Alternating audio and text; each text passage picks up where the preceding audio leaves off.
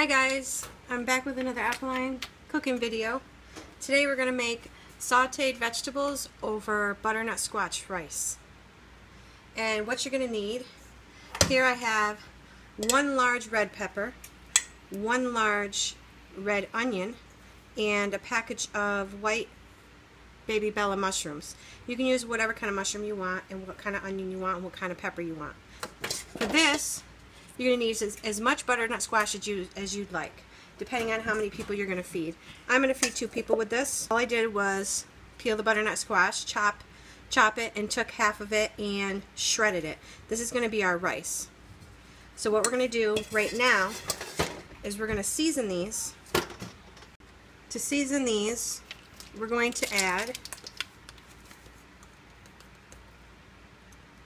a teaspoon of sea salt, tablespoon of onion powder, fourth a teaspoon of ginger, and a fourth a teaspoon of cayenne. Do you uh, season these? Get them, get it all stirred up and let it marinate for about five minutes. For the butternut squash, we're going to add the same seasonings. We're going to keep all these seasonings real simple. This is a cheap and inexpensive meal. Alright, we're going to add another teaspoon of sea salt.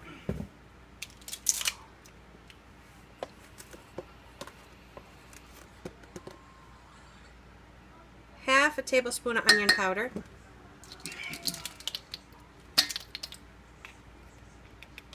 Eighth of a teaspoon of ginger. And eighth of a teaspoon of cayenne. Stir these up and let them marinate for five minutes.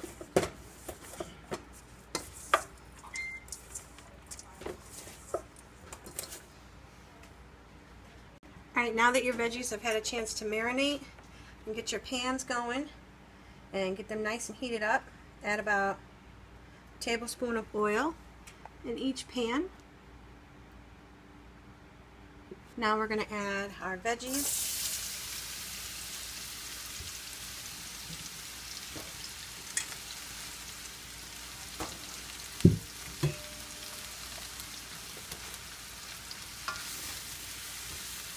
Get them coated with some oil.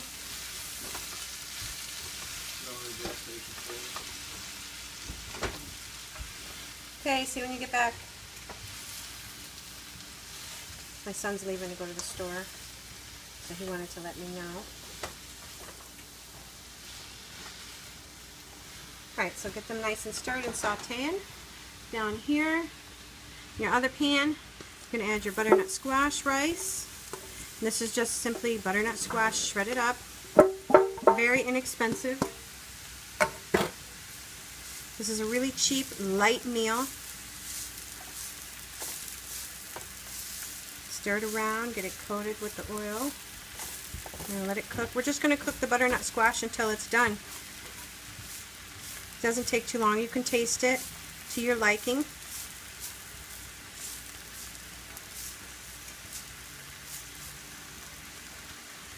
Okay, saute, saute these for about three to four minutes and I'll be right back with you. Okay, the veggies have been sauteing for about three to four minutes, like I said. We're going to let them cook a little bit longer. They're starting to tenderize, but if you want to keep take yours out now, that's that's great. I just want this one to be cooked a little longer this time. And then the butternut squash is not cooked yet, so it still needs more time. So we're going to give each one of these. The butternut squash, I'm going to give another three to four minutes. The veggies, probably another three. And we'll be right back. Alright guys, these vegetables are perfect. They're to my liking. Peppers still have a little bit of a bite to them. Onions are tenderized, mushrooms are tender. So I'm going to take this off the heat. And these cooked, oh, I think I had them cook them for about seven minutes. Alright guys, I had these cooking for about an additional five minutes instead of three to four, and they're just about done. Alright, these are done. You're getting a nice little brownness to them here and there. And I'm going to go ahead and take it off. Okay, so our light went out as usual. Nothing new there. Alright, so this is how you plate it. You take some of your butternut squash rice.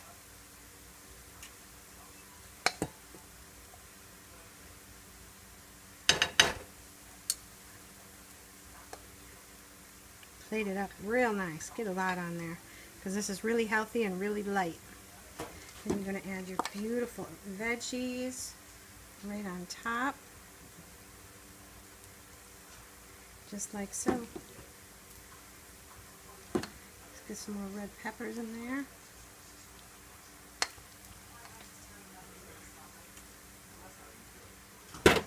There you are guys. Sauteed veggies over butternut squash rice. This is an alkaline electric meal. It's simple to make, really quick, and it's super cheap. Let me turn this up a little bit. There we go. See that? It is so tasty and colorful. Everyone will love it. Alright guys, I hope you enjoyed this video. Don't forget to comment, like, subscribe. Let me know what you thought of the recipe when you make it. Let me know what you thought of the video.